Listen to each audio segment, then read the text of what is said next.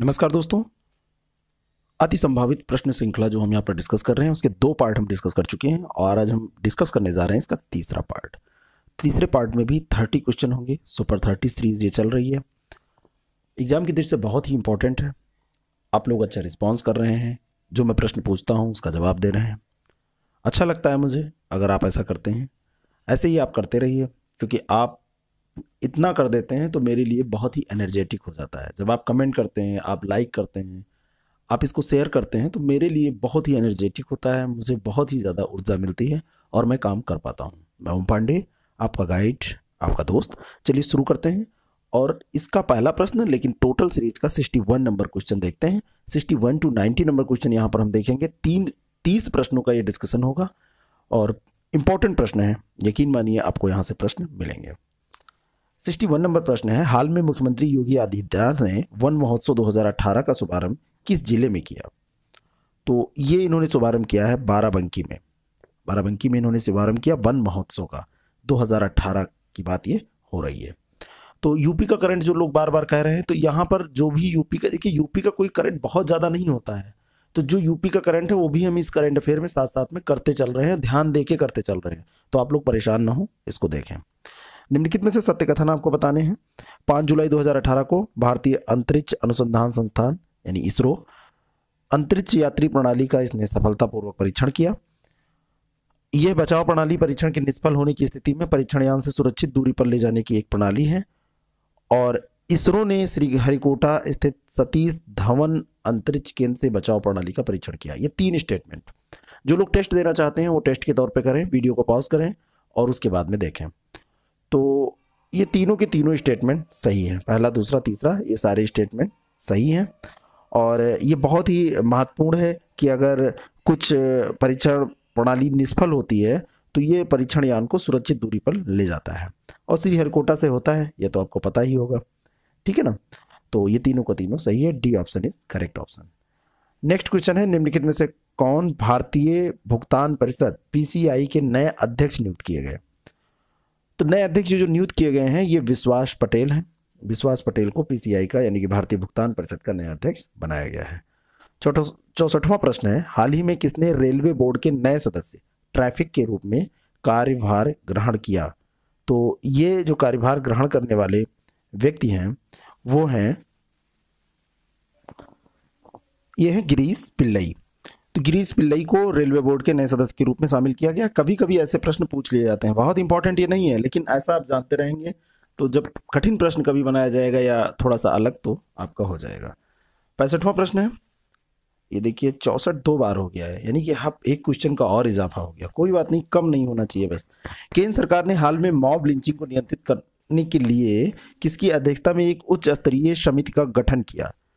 तो ये जो समिति का इन्होंने गठन किया है, वो गृह सचिव के, गृह सचिव के अध्यक्षता में समिति का गठन किया है। तो ये इंपॉर्टेंट है। डी ऑप्शन इसका करेक्ट है। आप भी जब गृह सचिव बन जाइएगा तो ऐसी समितियों का, की अध्यक्षता करने का मौका आपको मिलेगा। हिमाचल प्रदेश की दुग्गर जल विद्युत परियोजना किस नदी पर स्थापित की गई है? Important question very important question तो ये चिनाब नदी पर स्थापित की गई है। दुग्गर जल विद्युत परियोजना कहाँ है? ये भी इंपॉर्टेंट है तो ये हिमाचल प्रदेश में है। किस नदी पर है? तो ये चिनाब नदी पर है। ये दो क्वेश्चन इसमें तैयार हो गए आपके। निम्नलिखित में से कौन सा कथन सत्य है? बताना है। प्रसिद्ध मनोचिकित्सक प्रोफेसर एन एन विक का निधन हो गया। उन्हें मनोचिकित्सा विभाग का जनक कहा जाता था। ये दोनों के दोनों स्टेटमेंट राइट हैं। B option is correct option दोनों स्टेटमेंट यहाँ पर सही है। नाम याद रखिएगा, पूछा जाएगा, सुमेलित करने में अगर आपसे एन एन विग का क्षेत्र कौन सा है? तो ये मनोचिकित्सक थे। ऐसे प्रश्न पूछे जाते हैं ना?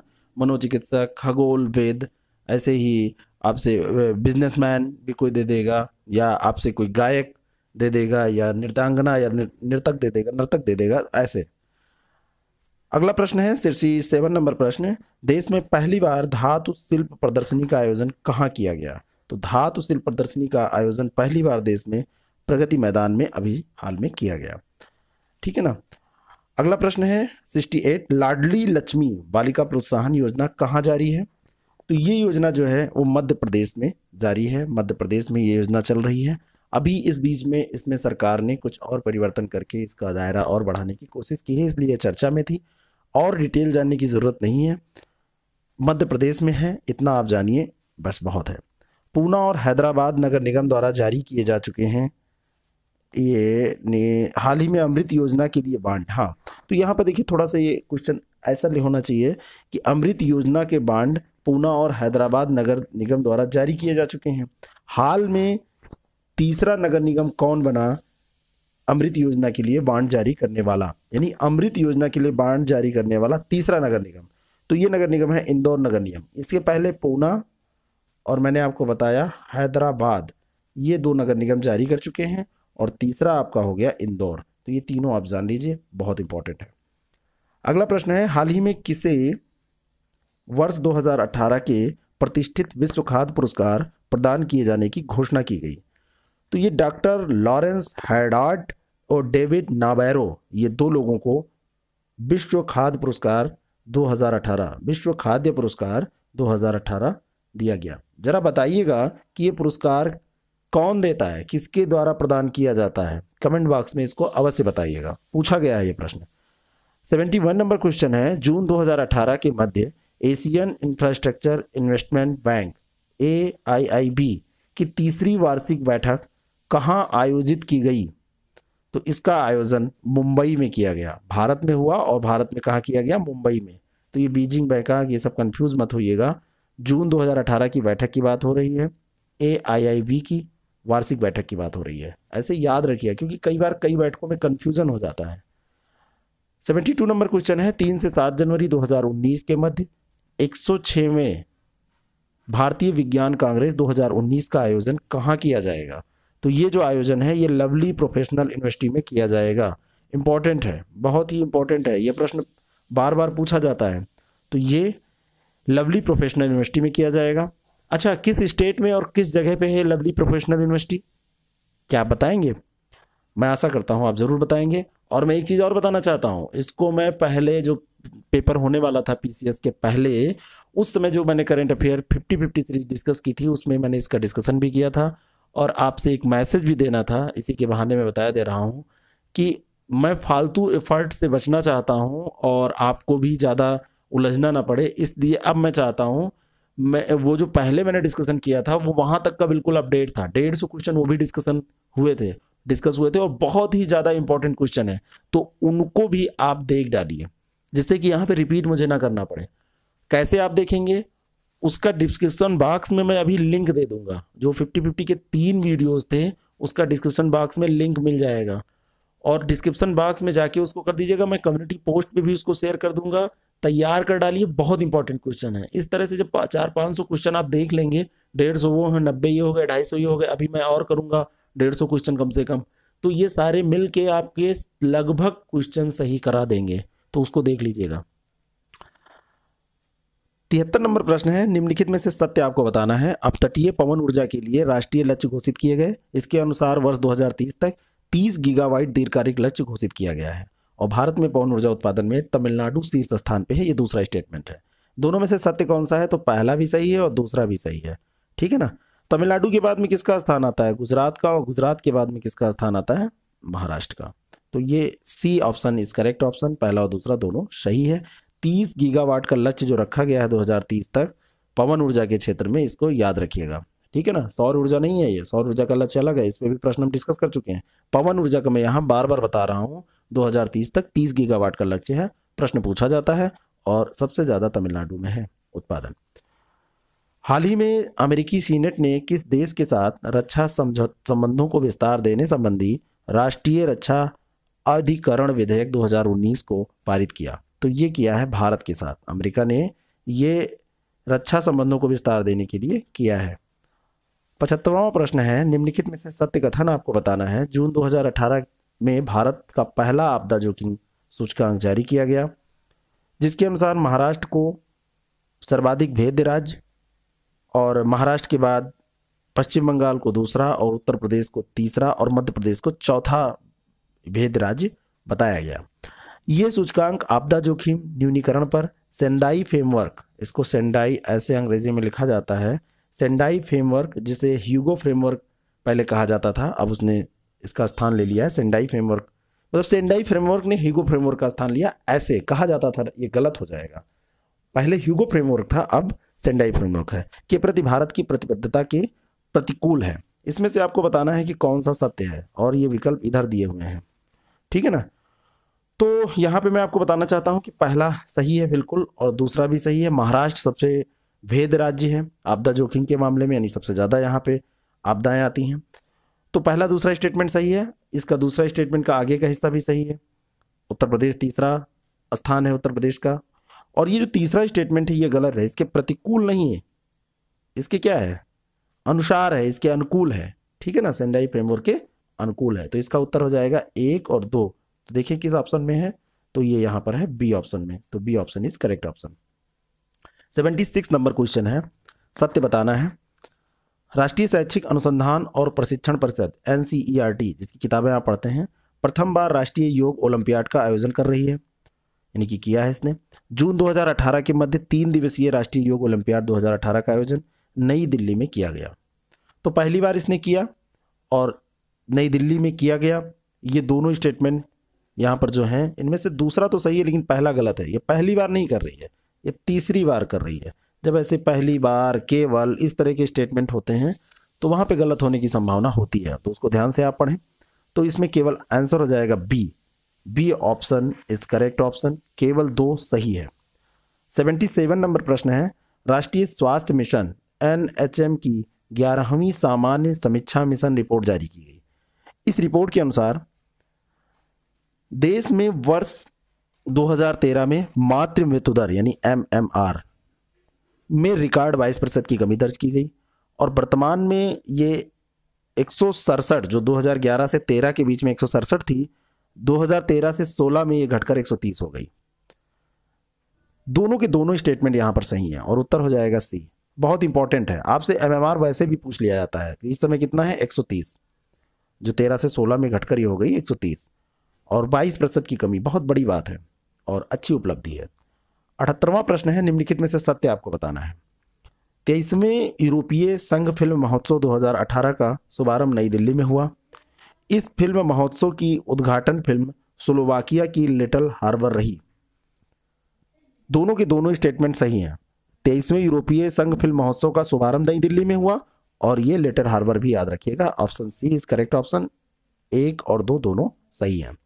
सेवेंटी नाइन नंबर जो क्वेश्चन है हाल में केंद्रीय मंत्रिमंडल ने उत्तर पूर्वी परिषद, नॉर्थ ईस्टर्न काउंसिल, एनईसी, के पुनर्गठन को मंजूरी दी। नई व्यवस्था के अंतर्गत कौन उत्तर पूर्वी परिषद के पदेन अध्यक्ष होंगे? तो ये होंगे केंद्रीय गृह मंत्री। राजनाथ सिंह इस समय गृह मंत्री हैं तो वही हो जाएँगे इसके पदेन अध्यक्ष। अस्सी नंबर प्रश्न। 29 मई से 2 जून 2018 के मध्य प्रधानमंत्री नरेंद्र मोदी इंडोनेशिया, मलेशिया और सिंगापुर की यात्रा पर रहे। मलेशिया के नव निर्वाचित प्रधानमंत्री का नाम। वहाँ पे नए प्रधानमंत्री कौन है? ये आपको बताना है। तो ये है doctor Mahathir Mohamad. Doctor Mahathir Mohamad Malaysia के नव निर्वाचित प्रधानमंत्री हैं।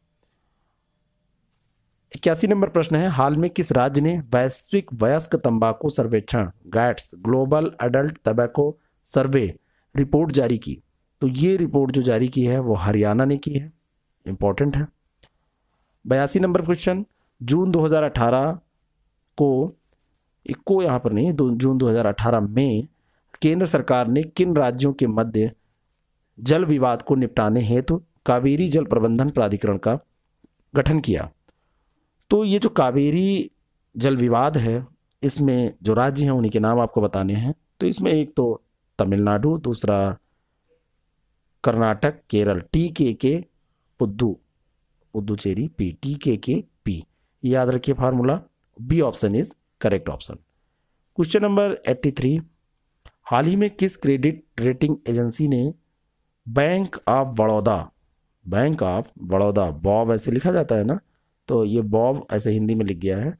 बैंक ऑफ़ बड़ौदा की व्यवहारिता रेटिंग को रेटिंग वाज निगेटिव ये कैटेगरी है, उस पर रखा। तो ये रखा है फिच ने। फिच ने इसकी जो रेटिंग की, उसमें इसको रेटिंग वाज निगेटिव पे रखा है। घोटाले हुए, यही कारण है इसका। निम्नलिखित में से सत्य कथन की पहचान करें। 30 सितंबर 2018 को डब्ल्यू वर्ल्ड बैंक और आईएमएफ की संयुक्त report reinvigorating trend and inclusive growth जारी की गई। ये तीन संस्थान, याद रखिएगा डब्ल्यू वर्ल्ड बैंक और आई और ये सही स्टेटमेंट है, मैं यही बता देना चाहता हूँ, इसने जारी की। भारत इस रिपोर्ट में उदाहरण भारत का प्रस्तुत किया गया। इस रिपोर्ट में भारत का उदाहरण प्रस्तुत करते हुए कहा गया कि सेवा क्षेत्र में खुलेपन में वृद्धि होती है। सेवा क्षेत्र में खुलेपन से वृद्धि होती है। अगर खुलापन होगा तो सेवा क्षेत्र में वृद्धि होगी, ये बात कहा जा रहा है। ये बात कही जा रही है तो ये दोनों के दोनों स्टेटमेंट सही है, ऐसा कहा गया है और option C is correct option 85 number question हाल में आरबीआई द्वारा जारी आंकड़ों के अनुसार जून अंत 2018 में भारत का विदेशी ऋण कितना था? तो ये विदेशी ऋण भारत का बहुत इंपॉर्टेंट है। कई बार प्रश्न पूछा गया है। चार बिलियन डॉलर ये था। चार बिलियन डॉलर ये विदेशी ऋण भारत का था, जून 2018 के अंत तक। मेरे मुँह में एक दो छाले निकले हैं, इसलिए बार बार कुछ वॉइस गड़बड़ हो जा रही है और बार बार मैं तेज़ नहीं बोल पा रहा हूँ। मैं स्लो कर रहा हूँ अपनी स्पीड को। ठीक है ना? लेकिन अब पढ़ना तो है ही है। छाले निकले होंगे, कोई बात नहीं। हाल ही में अंगटाड ने वर्ष 2015 में भारत की जीडीपी वृद्धि दर कितने प्रतिशत अनुमानित की है? तो अंगटाड के हिसाब से अगर आप उनके अनुसार पूछा जाए तो ये सात प्रतिशत इसने कहा है कि ये 2015 ये गड़बड़ हो गया है 2018-19 की बात होगी। ठीक है ना? तो ये याद रखिएगा। ये जहाँ से मैंने ऐसे न्यूज़ से लिया होगा, हो सकता है वहीं गलत लिखा रहा हूँ। तो ये याद रखिए आप। कई बार मैटर ऐसे वहाँ से, जैसे कोई मटेरियल दिया है करंट अफेयर का तो वहाँ से अगर मैं मटेरियल लेता हूँ तो वहाँ अगर गलत होता है तो हो जाता है।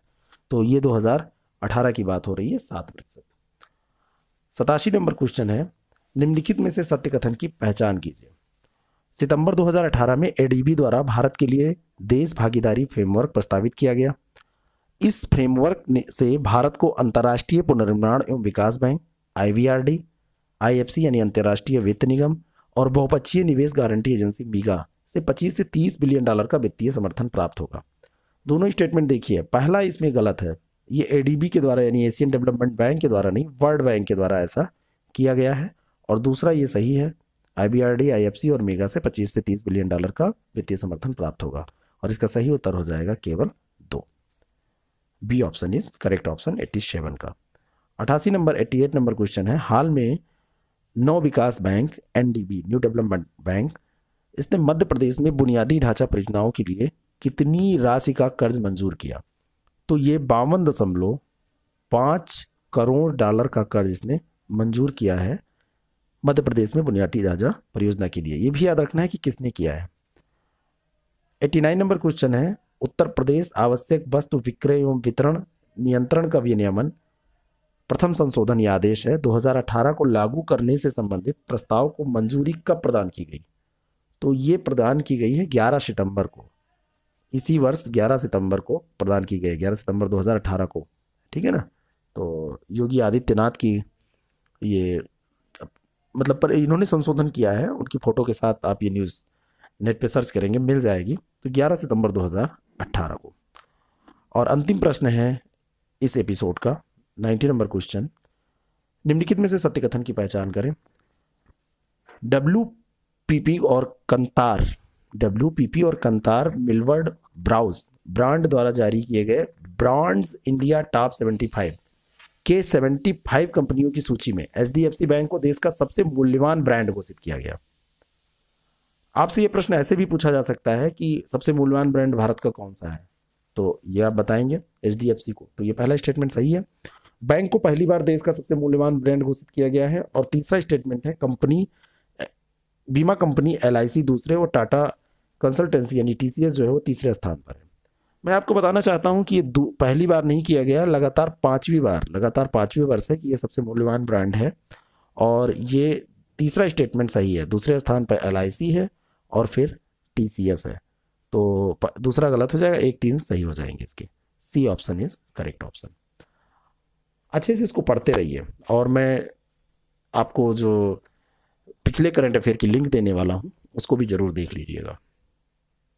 पिछले एपिसोड में मैंने एक क्वेश्चन डिस्कस किया था, सिक्सटी नंबर क्वेश्चन तो उसमें मैंने ऐसे कहा कि जून 2018 में तो मैंने कहा क्वेश्चन नंबर सिक्सटी जून 2018 ऐसे मैंने बोला। जैसे मैंने बोला, क्वेश्चन नंबर सिक्सटी, फिर आगे मैं कंटिन्यू किया जून 2018 तो कई लोगों को लगा कि 60 जून में बोल गया अरे महोदय, इतना तो मुझे भी पता है, महोदय, महोदया, जिनको भी लगा, कि साठ जून नहीं हो सकता, इकतीस तक का ही महीना होता है। आप लोग इन सब फालतू चीज़ों पे ध्यान मत दिया कीजिए, आप पढ़ाई पे ध्यान दिया कीजिए। क्वेश्चन नंबर सिक्सटी फिर ऐसे आगे कंटिन्यू किया। ठीक है ना? हो जाता है कभी कभी कॉमा पॉज ये सब ध्यान नहीं रह जाता है। फिर भी, चलिए, मज़ा मज़े की बात थी कि उन्होंने मज़ाक किया ऐसा। आप लोग अच्छे से पढ़िए, अच्छे से पेपर दीजिए। और मैं आपके लिए हाजिर हूँ। उसको ज़रूर देख लीजिएगा मैं उसके लिंक शेयर कर दूँगा। Thank you thank you